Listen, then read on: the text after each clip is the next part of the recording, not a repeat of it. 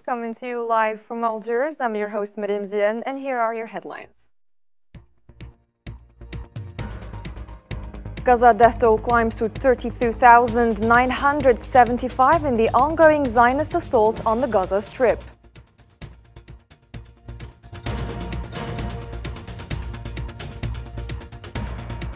Next, the Arab League congratulates Algeria's UN advocacy amid rising tensions in Gaza.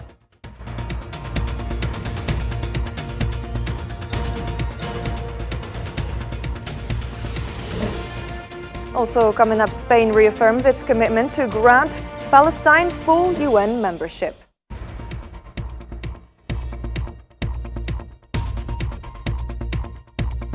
And Senegalese president appoints Ousmane Sonko, a new, uh, an opposition figure, as a new prime minister.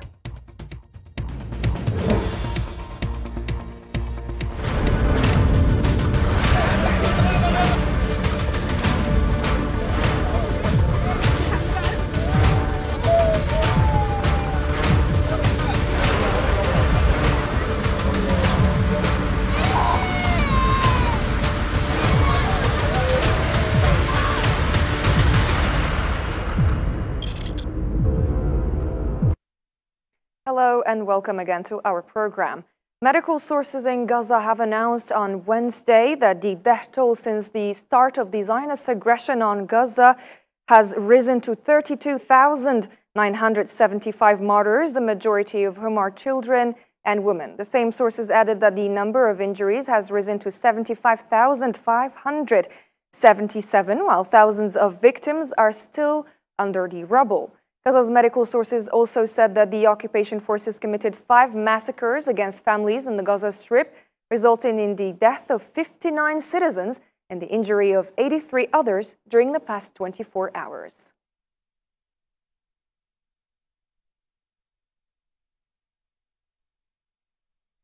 The head of the Hamas Palestinian resistance movement, Ismail Haniyeh, said that the Battle of Al Aqsa flood raised hope that cleansing al-Quds from the occupiers is a historical necessity. In his speech on the occasion the, of the commemoration of International Al-Quds Day, he stressed that Al-Aqsa flood operation revealed that the truth of the Zionist entity has been revealed.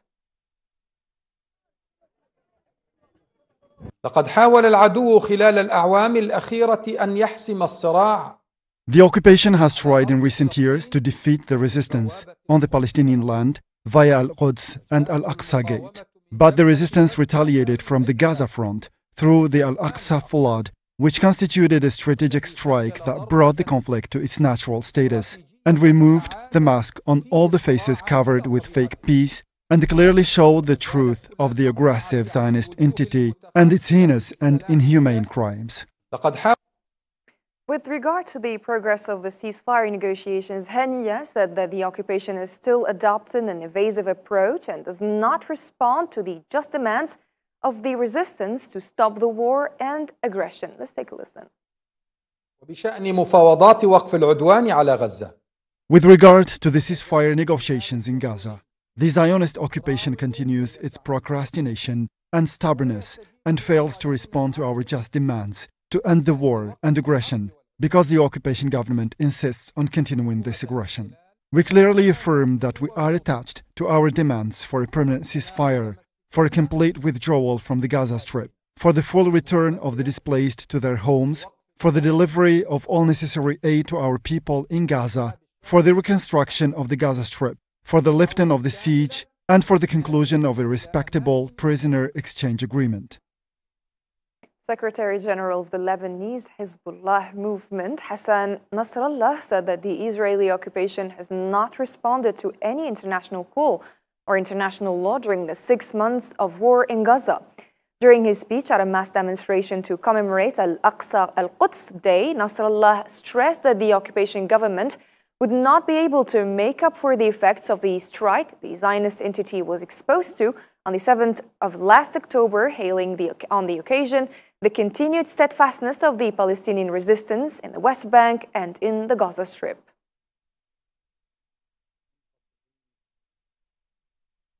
Iranian President Ibrahim Raisi said that the recent developments in Gaza have shown more than ever that the Zionist entity does not adhere to any humanitarian and international principles.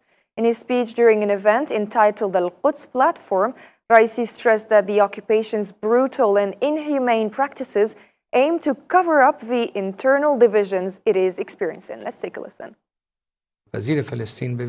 Iran stands with the Palestinian people in their struggle against the occupying enemy. The recent attack on our consulate in Damascus, a breach of human rights and international law, will not go unanswered. This action highlights the Zionist regime's desperation to conceal its failures and harmful agenda. The military wing of the Islamic Jihad movement, the Al-Quds Brigades, published scenes of its fighters sniping an Israeli soldier from the engineering unit east of Gaza City. Let's watch the following clip.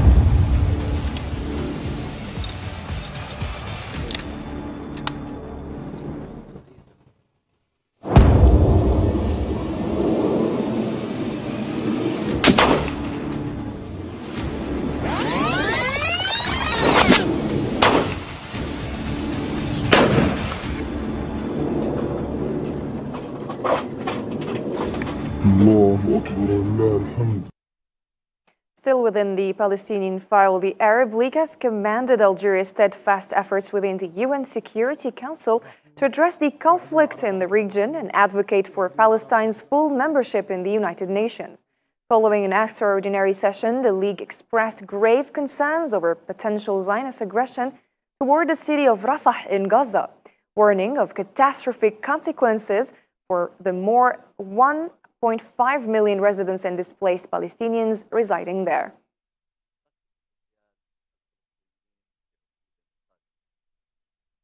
Palestine has once again appealed to the UN Security Council to revisit its 2011 application for full membership in the United Nations amid the ongoing crisis fueled by the Zionist occupation's six month long campaign of extermination in Gaza. Hussein Barkan has more details.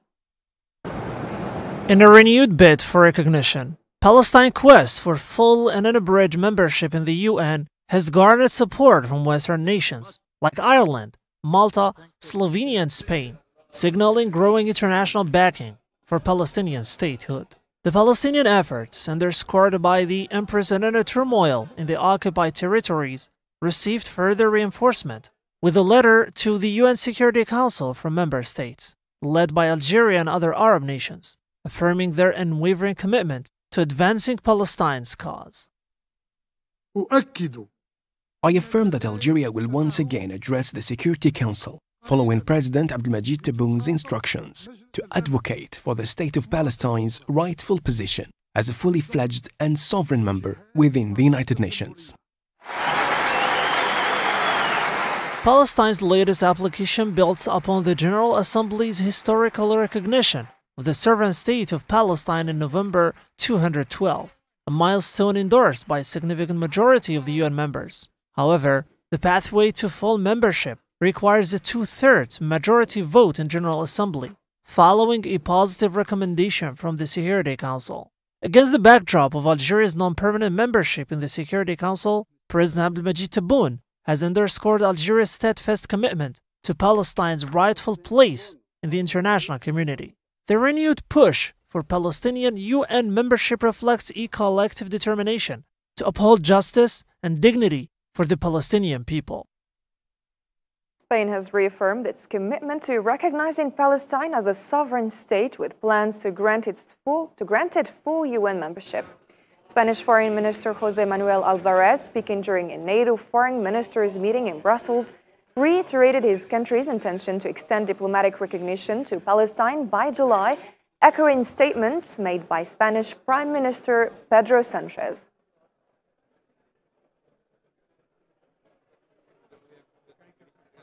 El presidente ha sido muy claro. Nosotros The Prime Minister's stance is unequivocal. We will extend recognition to Palestine as a fully sovereign state, akin to all other members within the United Nations. Pero no, ah, no adelantemos acontecimientos, ese debate ya llegará. President Abdelmajid Tebboune received a call from his Palestinian counterpart, Mahmoud Abbas. The Palestinian head of state expressed gratitude to Algeria for its unwavering support for the Palestinian cause, particularly regarding the recent UN resolution. And President Tebboune reiterated Algeria's steadfast support for justice and rights of the Palestinian people. They also agreed on a visit by the Palestinian Prime Minister and Foreign Minister to Algeria after Eid al-Fitr.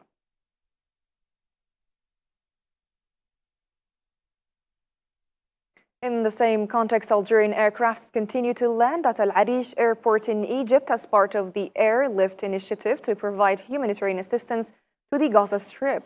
On Wednesday, another Algerian Air Force plane arrived at Al Arish airport transporting 22 tons of Algerian humanitarian aid bound for the Gaza Strip. This aid package comprising food, medical supplies, and tents will be transported to the Rafah border, border crossing through coordinator efforts between or coordinated efforts between Algerian authorities and their Egyptian counterparts.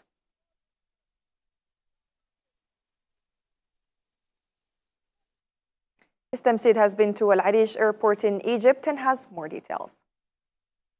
Another plane of the Algerian People National Army laden with humanitarian aid landed here at the Al Arish airport in Egypt. Having departed from Boufarik airport in Algeria, this flight is considered another crucial step in Algeria's support for Palestine and specifically towards Gaza.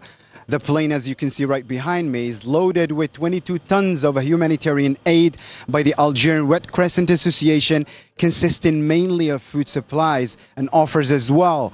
A lifeline to the Palestinians in Gaza, who, amid the 18 year long blockade and the ongoing Zionist genocidal war against the Strip for the sixth consecutive month, the continuing process of the humanitarian aerial bridge support from Algeria to Gaza underscores again Algeria's unwavering commitment to the Palestinians and highlights the strong bond between the two nations.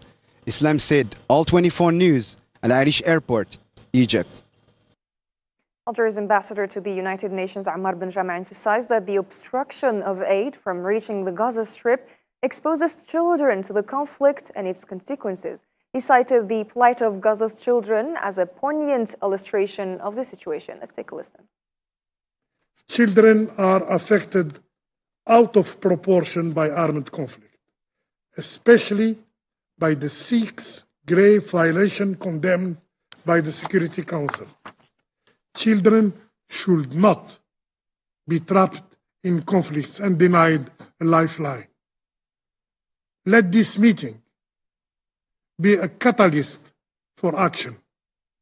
Let us hold perpetrators accountable and prioritize safe access to humanitarian assistance in order to ensure that the needs for, of children in armed conflict are met. Together, we can build a world where children are not anymore victims of war, but beacons of hope for a peaceful future. International condemnation is swelling after the occupation killed seven aid workers from a US based food charity founded by a renowned celebrity chef. Leaders from many Western countries are now urging the occupation to respect international law as it is launching a war in Gaza that has proven to be one of the deadliest for humanitarian aid workers. Nabil Khazini has a report. The sea convoy is returning to Cyprus after it would have normally docked off Gaza's port to deliver aid if the occupation hadn't targeted aid workers inside the strip. The ship is back, carrying with it 240 tons of food for people, leaving behind an entire population living in despair. هم طبعا معاناة الشعب الفلسطيني هم إسرائيل The suffering of the Palestinian people continues as Israel has created a crisis for them. Those from the world's central kitchen were providing aid, and Israel's goal is to halt any assistance reaching the Palestinian people by targeting foreigners and the World Kitchen Group to stop all aid. Today, the war is aimed at starving the Palestinian people. Israel's objective is to starve and expel them from their land. This is what they want. The occupation's indiscriminate airstrikes on Gaza have killed on Monday a group of seven aid workers, most of whom were foreign nationals, from the charity World Central Kitchen. This has elicited a horrified global response. In the UK, the country that lost three of aid workers in the attacks, the British government is facing growing political pressure to stop selling weapons to the occupation. Media polls suggest that 56% of British people are in favour of this ban. all of the British public can see the scenes coming out of Gaza, children lying in rubble, deep concerns being made about international human rights law. And for all of those reasons, that advice should be published. Uh, and if it is the case that international law has been contravened, then it's absolutely right that offensive arms are suspended to Israel. For now, aid remains scarce and the ways it gets into Gaza are reduced. But what could a drop of aid do in an ocean of despair and need?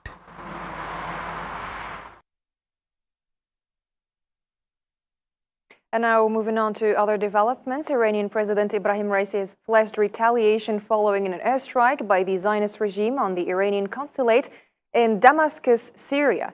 Describing the attack as an act of frustration and impotence, Raisi asserted during the Al Quds platform event that such aggression against Iran will not go unanswered, highlighting the Zionist entity's attempts to conceal its failures and human rights violations. شرافت اسلامی و انسانی تبدیل شده Regrettably, those who falsely champion human rights have remained shamefully silent. Not only have they failed to halt the Zionist regime's killing machine, but they also openly and covertly aid and abet these atrocities, particularly the United States. America is unquestionably complicit in the crimes perpetrated by the Zionist regime in Gaza. Algeria strongly condemned the aerial bombardment that targeted the Iranian consulate building in the Syrian capital, Damascus.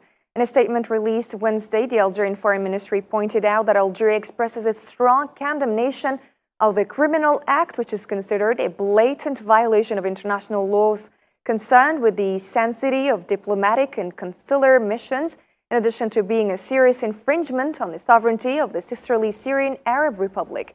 The same source added that Algeria extends its sincere condolences and sympathy to the families of the victims, wishing a speedy recovery to the injured. The statement also says that Algeria renews its full solidarity with the Islamic Republic of Iran, as well as with the Syrian Arab Republic, in, in the face of this blatant aggression that threatens to escalate the situation and deepen the state of insecurity and instability in the entire region.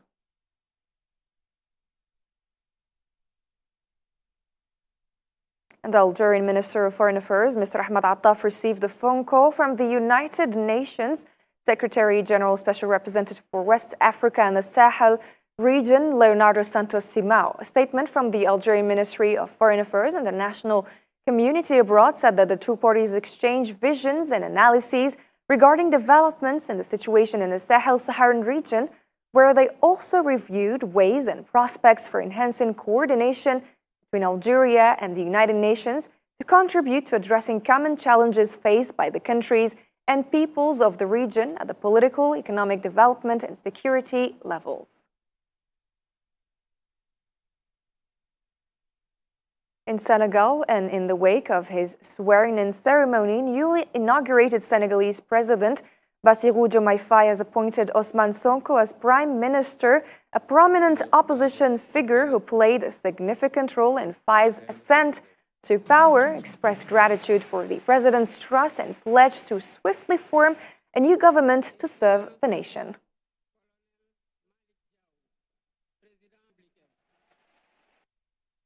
Russian Deputy Prime Minister Alexander Novak announced that his country has succeeded in redirecting all of its oil exports to new markets after the latter faced various forms of obstacles within the framework of Western sanctions.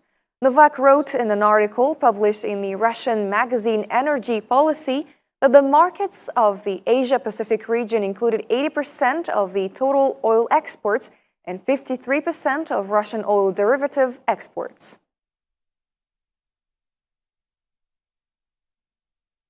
More international news with Mohammed Khatel. Taiwan's biggest earthquake in at least 25 years killed nine people on Wednesday and injured more than 900, while 50 workers traveling in minibuses to a hotel in a national park were missing. Some buildings tilted at precarious angles in the mountainous, sparsely populated county of Hualien, near the epicenter of the 7.4 magnitude quake, which struck just offshore at about 8 a.m. local time and triggered massive landslides. The earthquake hit at a depth of 15.5 kilometers as people were headed for work and school. Many residents who dared not to stay at home overnight were accepted at temporary shelters. Rural communities in south and central Mexico battled the flames on Tuesday as dozens of wildfires raged, boosted by a nationwide drought. Local media reported that four fires ravaged the central state of Mexico. In the state of Mexico, residents worked for hours to extinguish a fire that originated in a cornfield. According to Mexico's Forest National Commission, there were 71 active fires on Tuesday. At least one confirmed tornado ripped through Rockdale County in Georgia. Aerial footage recorded on Wednesday showed extensive damage to houses and trees. Cleanup efforts were underway as of Wednesday, local media said. Toppled trees knocked down power lines, and nearly a third of Rockdale County suffered power outages, Georgia Power reported.